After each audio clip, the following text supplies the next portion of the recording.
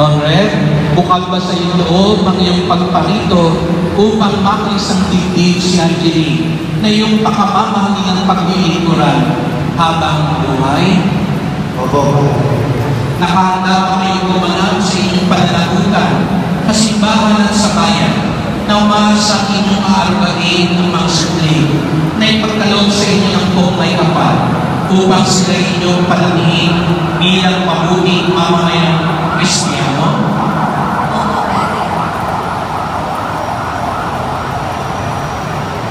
Honorable Angeline sa harap ng Diyos at ng kanyang sambayanan, pagdaupin ninyo ang inyong mga palad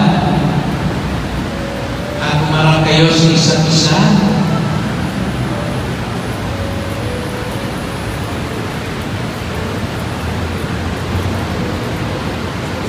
upang ipahayag ninyo ang mitiing pagtipan sa banal na sakramento ng kasal. Angelina, sumasang-ayon ka ba na maging asawa si Reba na rito ngayon ay isunod sa batas ng mga alituntunin ng ating banal na simbahan? Opo, Padre. Buong puso ba ang pagkakaloob sa Kanya ng iyong sarili bilang Kanyang may bahay? Opo, Padre. Nakalaan ka bang balikati sa piling niya ang panlagunan ng buhay may asawa? Opo, Padre. Andre, sumasang-ayon ka ba na maging may bahay na Angeline na rin kayo ay sulod sa batas at mga linutunin ng ating banal na simbahan?